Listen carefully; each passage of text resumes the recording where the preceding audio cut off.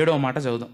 అప్పుడు యేసు గొప్ప శబ్దముతో కేక వేసి తండ్రి నీ చేతికి నా ఆత్మను అప్పగించున్నాను నేను ఆయన ఇలాగ చెప్పి ప్రాణం విడిచాను. ఇది లూకా సువార్త ఇరవై మూడవ అధ్యాయము నలభై ఆరో వాక్యములో ఉంది.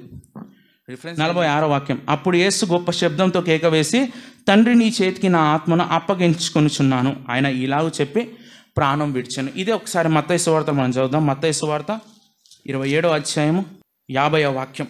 యేసు మరలా బిగ్గరగా కేక వేసి ప్రాణం విడిచాను. అప్పుడు దేవాలయపు తెర పైనుండి క్రింది వరకు రెండుగా చీలెను. భూమి వణుకెను బండలు బ్రద్దలాయను సమాధులు తెరవబడెను.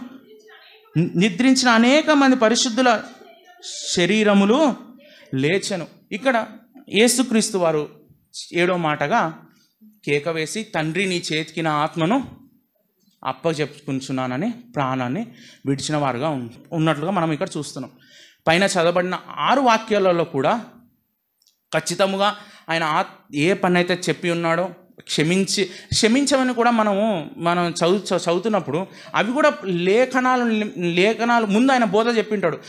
కొండల మీద మనం ధన్యుల ధన్యుల చదువుతాం ఆత్మవిషయమైన వారి వారు ధన్యులు దీ దీనత్వం గల వారు ధన్యులు సమాధానపరచే వారు ధన్యులు అని. ఆ వాక్యాలను మనం చూస్తే చివరికి ఆ అధ్యాయంలో చివరికి వచ్చేసరికి ఆయన చెప్తాడు. మీరు హింసించే వారి గురించి ప్రార్థన చేయండి. మీరు హిం మిమ్మల్ని ఎవరైతే హింసిస్తారో వారి నిమిత్తమే ప్రార్థన చేయండి.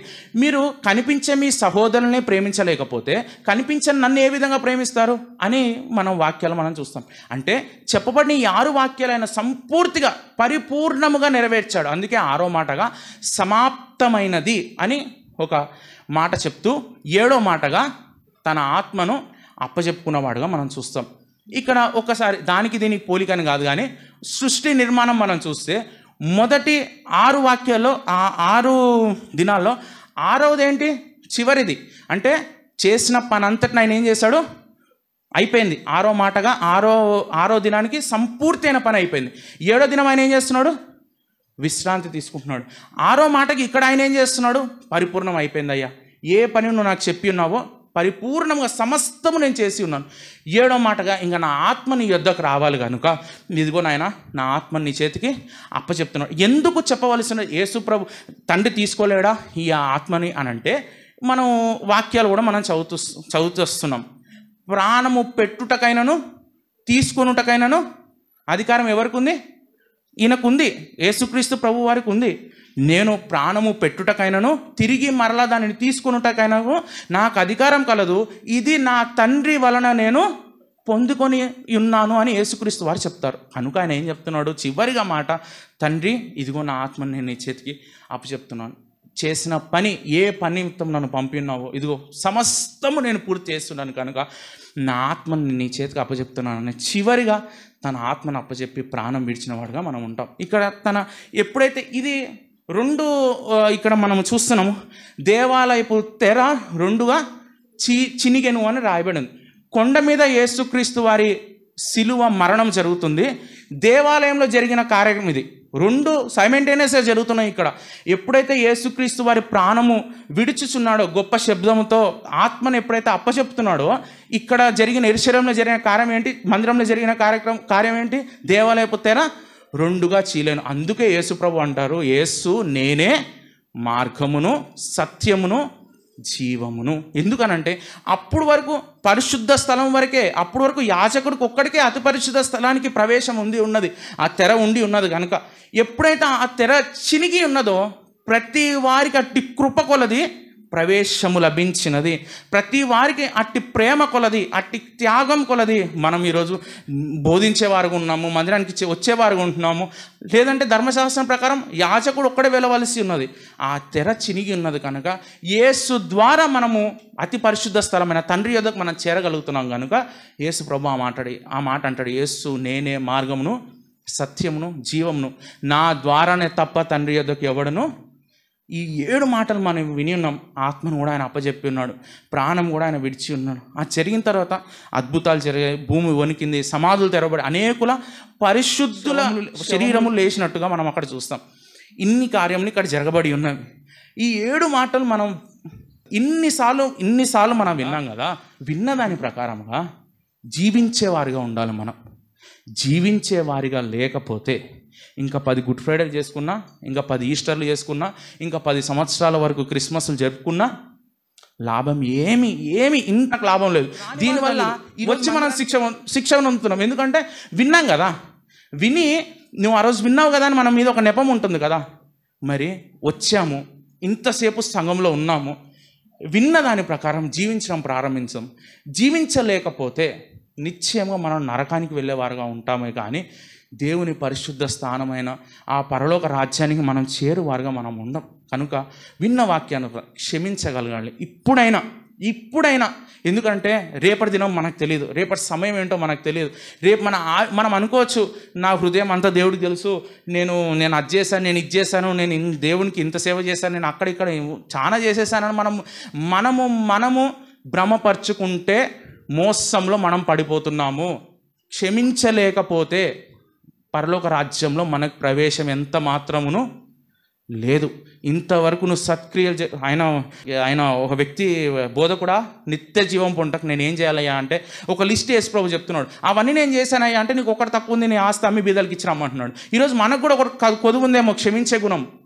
ఒకవేళ అది కానీ మనం చేయలేకపోతే ఈ సత్క్రియలు ఏవైతే మనము చెప్పుకుంటూ వస్తాం. ఒక లిస్ట్ మనం అయ్యా నేను అది చేశాను నేను ఇది చేశాను నేను నేను పరిచర్యకి వెళ్ళాను నేను కూడికలు పెట్టించాను ఎంత పెద్ద లిస్ట్ మనం చెప్పినా అన్నీ వేస్ట్. ఏ దేనికి పనికిరావు? అన్నీ ఒక దెబ్బ కొట్టేస్తాడు. నువ్వు క్షమించలేదు గనుక నరకానికి వెళ్ళిపో అంటాడు. ఈరోజు మనం ఆ స్థానంలో ఉన్నామా? ఏ స్థానంలోనూ. ఒక్కసారి మనల్ని మనం పరిశీలన చేసుకొని చివరిగా ఒక మాట యోహాను సువార్త పద్నాలుగో అధ్యాయము చివరి మాట యోహాను సువార్త పద్నాలుగో అధ్యాయం ఇరవై మూడో వాక్యం. యేసు ఒకడు నన్ను ప్రేమించిన ఎడల వాడు నా మాట గైకొనును. అప్పుడు నా తండ్రి వానిని ప్రేమించును. మేము వాని యొద్దకు వచ్చి వాని యొద్ద నివాసము చేతుము. ఇక్కడ యేసుక్రీస్తు వారు తండ్రి కుమార పరిశుద్ధాత్మ త్రియేక దేవుడు మనతో నివాసము చేయాలంటే మనలో ఉండాలంటే మన మనం నివసిస్తున్న దాంట్లో ఆయన కూడా మనలో నివాసం ఉండాలి అంటే వాక్యం పెట్టుకున్న మన వాక్యం బయట మనం పెడతాం యేసు క్రీస్తు ప్రభు ఈ గృహానికి అధిపతి అని మనం పెట్టినంత మాత్రాన ఆ గృహానికి యేసుక్రీస్తు ప్రభు అధిపతిగా ఉండడు. మనము వాక్యానుసారంగా జీవిస్తూ ఆయనకు లోబడి ఉంటే అప్పుడు ఆయన మనకు అధిపతిగా ఉంటాడు. కానీ వాక్యం పెట్టినంత మాత్రం ఆయన అధిపతిగా ఉండడు. ఇక్కడ సేమ్ అదే మాట ఇక్కడ ఆయన చెప్తున్నాడు. ఏ తండ్రి కుమార పరిశుద్ధాత్మ దేవుడు వచ్చి మనలో నివాసం చేయాలి మనతో సహవాసం చేయాలి అని అంటే ముందు కొన్ని కండిషన్ ఆయన చెప్తున్నాడు. యేసు ఒకడు నన్ను ప్రేమించిన ఎడల వాడు నా మాటలు గైకొనును. ఏ మాటలు? అనేక మాటలు మనం వింటూ వస్తున్నాం కదా. ఈరోజు ప్రత్యేకంగా ఏడు మాటలు మనం విని ఉన్నాం. మనము యేసుక్రీస్తుని ప్రేమించున్నామని చెప్తుంటే యేసుక్రీస్తుని నేను ప్రేమిస్తున్నాను ఆయన నా కోసం కలువరి శిలలో త్యాగమయ్యాడు యాగమయ్యాడు నేను ఆయనను ప్రేమిస్తున్నాను అని మనం చెప్తున్నామంటే ఆయన మాటల్ని మనం ఏం చేయాలా? గై కొనాలి. ఆయన మాటలు మనము వినాలి. వింటే అప్పుడు నా తండ్రి వానిని ప్రేమించును. ఎప్పుడైతే మనము ఈ మాటలన్నీ విని అంగీకరిస్తామో గై కొంటామో దాని ప్రకారంగా నడుస్తామో అప్పుడు తండ్రి మనల్ని ప్రేమిస్తాడు. అప్పుడు ప్రేమించిన తర్వాత మేము అతనితో నివాసము చేతుము అని ఉంది అక్కడ. అంటే యేసుక్రీస్తు ప్రభువారు తండ్రి అయిన దేవుడు మనతో నివాసం చేయాలి అంటే ఆయన మాటలు మనం గైకొనాలి. ఆయన మాటలు మనం గైకొన్నప్పుడే తండ్రి మనల్ని ప్రేమిస్తాడు. ఈ మాట ప్రకారంగా ఆయన మాటలు గైకొనాలంటే ఈరోజు మనం కొన్ని ఏడు మాటలు విని ఉన్నాం. ఈ మాటలు నిజముగా మనం గైకొనుచున్నామా? ఒకవేళ గైకొనలేకపోతే తండ్రి మనల్ని ఏం చే ప్రేమిస్తాడా? ప్రేమించడు. ఆయన ప్రేమించలేకపోతే ఆయన మనతో నివాసం ఉంటాడా? ఉండడు. ఆయన మనతో నివాసం లేకపోతే మనతో నివాసం ఉండేది ఎవరు? సాతాను. అయితే వెలుగు లేదా చీకటి? వెలుగైన తండ్రి లే నివాసం చేయనప్పుడు చీకటైన సాతానే మనలో నివాసం చేస్తాడు. చీకటైన సాతాను మనలో నివాసం చేస్తున్నాడు అంటే చీకటైన సాతాను మన గృహానికి మనకి అధిపతి అయి ఉన్నాడు. అయినా చీకటైన సాతాను మన గృహానికి మనకు అధిపతి అయి ఉన్నాడు అని అంటే సాతాను దేనికి అధికారి అయి ఉన్నాడో ఆ స్థలానికే మనం వెళ్తాము. కనుక దేవుడిచ్చిన మాటలు ఇచ్చిన అవకాశాన్ని బట్టి దే